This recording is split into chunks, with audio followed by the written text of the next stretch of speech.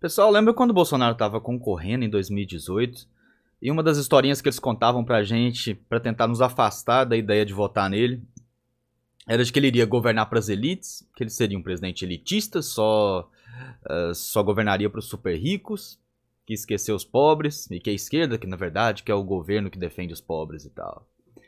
Olha só que engraçado. Obviamente, a gente já percebeu, muitos de vocês perceberam já na época, que tudo isso não passa de mentira, de anedota, de conversa fiada da esquerda.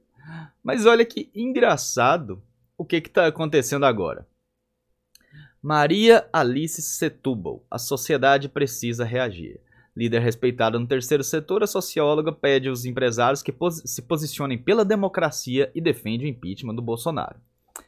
Maria Alice Setúbal, pessoal, para quem não sabe, é herdeira do Itaú, do Itaú Unibanco, maior banco privado do Brasil.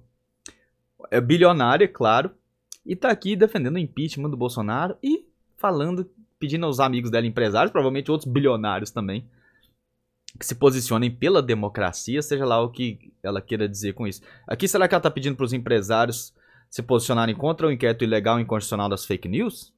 Que está perseguindo opositores, críticos do STF, críticos do TSE. Será que é isso que ela está falando? Defender pela democracia? Acho que não. Acho que não. Acho que para ela, ameaça à democracia é o presidente Bolsonaro mostrar sua popularidade nas ruas. Mas então, por que uma pessoa bilionária como essa defende. Um, é, a, quer atacar um presidente conservador? Por que ela gostaria que a esquerda voltasse ao poder? Pessoal, vocês têm que parar com isso. Quem ainda pensar assim, tem que parar com isso, de achar que esquerda e dinheiro andam separados. Hoje em dia isso já acabou.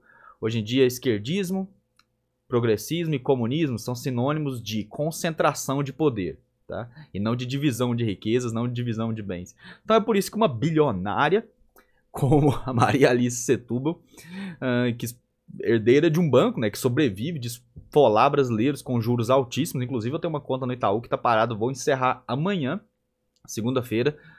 É, peço que vocês façam isso também, né? Não fiquem mantendo suas contas, não fiquem entregando seu dinheiro para essas pessoas aqui que já se mostraram que não tem nenhum compromisso com a maioria da população, né? Estão aqui realmente defendendo o impeachment de um presidente popular como, como Bolsonaro sem nenhuma base, uh, sem nenhum dado, sem nada que justifique, né? Parece que eles não se importam em jogar o país no caos, até porque a gente sabe, né? Quando o país está no caos, quando o país está o país tá na quebradeira, quando o país está em situação difícil, é que os super ricos lucram de verdade. Perdão.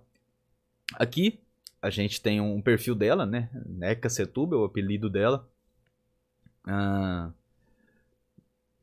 é filha de Olavo Setúbal, herdeira e acionista do Itaú Unibanco, maior banco privado do Brasil graduado em ciências sociais, mestre em ciências, toda essa, toda essa coisa de humanas aqui. Então, não era de se estranhar, não é de se estranhar que realmente fosse isso que ela iria defender. Mas o mais engraçado que eu quero mostrar para vocês é isso aqui, ó. Uh, Neca Setúbal e a participação na, na, campanha de Marina Silva. No âmbito político, Neca Setúbal teve papel fundamental na candidatura de Marina Silva para a presidência em 2014. Neca foi responsável por coordenar o plano de governo de Marina.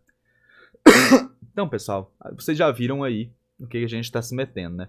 E eu acho que não tem nada mais para abonar o Bolsonaro do que uma pessoa que lucrou bilhões de reais, representante, herdeira de um grupo que lucrou bilhões de reais, odiando ele.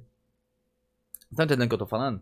Os bilionários odeiam o Bolsonaro. A boa parte deles, né? Obviamente, em todos, as, em todos os aspectos, todas as camadas da sociedade, as pessoas boas e as pessoas ruins, né? As pessoas que estão lutando pelo Brasil e as pessoas que estão lutando pelos próprios interesses. Tem isso nos bilionários, nos ricos, na classe média alta, classe média, nos pobres, tá? Não, não é isso de pobres contra ricos. Em todas as camadas há aquelas pessoas boas e aquelas pessoas ruins. A verdade é essa. Então, o, o que poderia ser mais benéfico para a imagem do Bolsonaro do que ser odiado, odiado por esses super ricos que vivem principalmente nesse caso aqui, vivem de esfolar o Brasil. Olha aqui, bancos lucraram 550% a mais no governo Lula do que na gestão FHC. E olha que na gestão FHC já lucraram muito. Já lucraram muito. Mas no governo Lula eles lucraram 550% a mais. Então é compreensível que pessoas como Maria Alice Setúbal queiram a volta da esquerda no poder. Queiram lutem para retirar o Bolsonaro, que é o único presidente conservador, que está governando de verdade para o povo, que está terminando as obras que o PT nunca terminou. Então, minha amiga, sinto muito, mas você e seus amiguinhos, seu clube bilionário vocês vão ter que continuar contando com essa fantasia da mídia aí que vocês vão conseguir derrubar o presidente. Não vão. Não vão. E quando você falar, pedir para seus amigos empresários bilionários se posicionar pela democracia, lembra de falar para eles se posicionarem contra o inquérito inconstitucional das fake news, contra os arrobos autoritários da elite do judiciário que está perseguindo e prendendo críticos. Porque que eu saiba, o presidente Bolsonaro não mandou prender nenhum crítico dele. Mas a elite do judiciário mandou prender bastante. Tá? Defendendo o impeachment de Bolsonaro, acho que você vai ter que esperar. Sua melhor chance é investir muito dinheiro num próximo candidato de esquerda aí. Ok? Então é isso, pessoal. Quando vocês quiserem saber se vocês estão do lado certo ou não, de onde estão os super ricos? Essas pessoas que vivem de, é, cobrar juros altíssimos, como é o caso da senhora aqui, e, seu, e de onde ela é herdeira do, do Banco Itaú. De que lado eles estão? Estão contra o Bolsonaro. Aqui tem até o restante da matéria. Aqui tem que pagar para ver, mas eu não, né, não vou pagar para ver ler, ler matéria da Veja de forma alguma, né? Se eu tivesse aqui, já teria cancelado. Como vou cancelar minha conta no Itaú amanhã, não se esqueçam de fazer isso também, todos vocês, ok? É isso, pessoal. Quem gostou do nosso conteúdo, não se esqueça de se inscrever no canal. Vou até deixar isso aqui para ficar bem claro.